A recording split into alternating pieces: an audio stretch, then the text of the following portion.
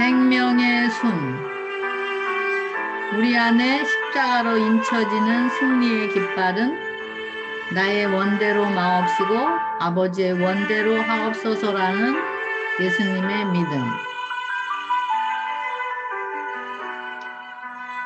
사단은 계속 우리의 상처를 드러내면서 우리 마음이 넘어지도록 깨하여 평강을 유지하지 못하도록 하는 것을 보게 됩니다.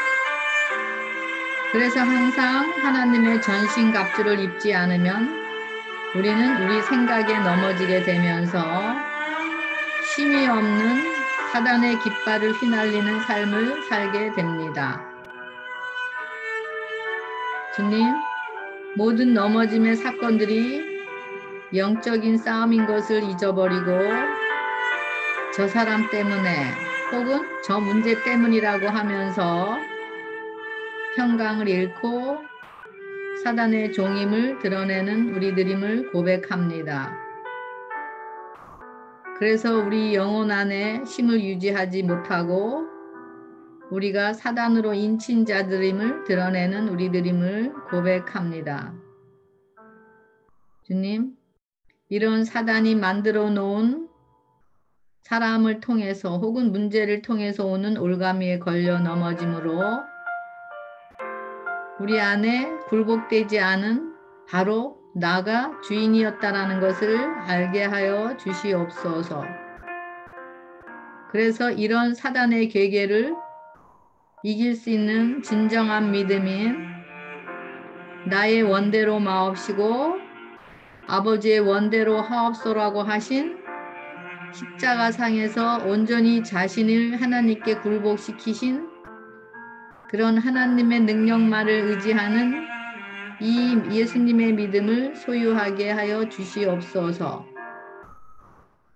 그래서 우리가 십자가로 가는 길이 눈에 보기에는 사단이 이긴 것 같고 또 십자가로 가는 길이 눈에 보기에는 희망이 끝난 것 같지만 예수 그리스도를 살리신 성령의 능력으로 우리 심령의 정결함에 십자가의 깃발이 휘날려서 하나님의 승리로 인쳐진 자들임을 드러내게 하여 주시옵소서.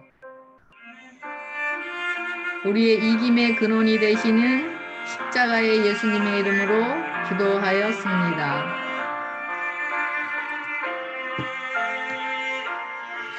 아빠 아버지여 아버지께는 모든 것이 가능하오니 이 잔을 내게서 옮기시옵소서. 그러나 나의 원대로 마옵시고 아버지의 원대로 하옵소서. 예수께서는 그들을 초청하시며 그분께로 오라고 하신다. 사단의 진영을 떠나 그리스도의 십자가에 피 묻은 군기 아래 서도록 초청하신다. 하나님의 백성들은 쉬지 않고 원수를 대적하는 싸움을 계속하여 승리의 문에 이를 때까지 전쟁을 치루어야 한다. 그리스도의 십자가에 피 묻은 깃발을 높이 들고 사단을 대항해서 싸우는 십자가의 군대에 가담하는 것이 모든 그리스도인의 의무이다. 가장 작은 축복부터 가장 큰 축복에 이르기까지 모든 것은 하나의 통로, 곧 하나님의 아들 안에 있는 하나님의 생명이었기 때문에 헤아릴 수 없는 가치를 지닌 피로써 뿌려진 초인간적인 중재를 통하여 흘러온다.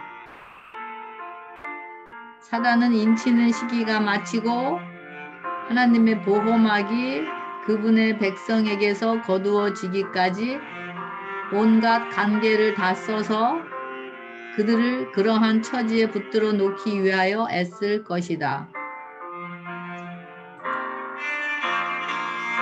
오늘도 생명의 숨을 들이마시고 사랑의 숨을 내쉬면서 하나님 아버지의 원대로 행하는 자들임을 드러내시는 하루가 되시길 기도합니다.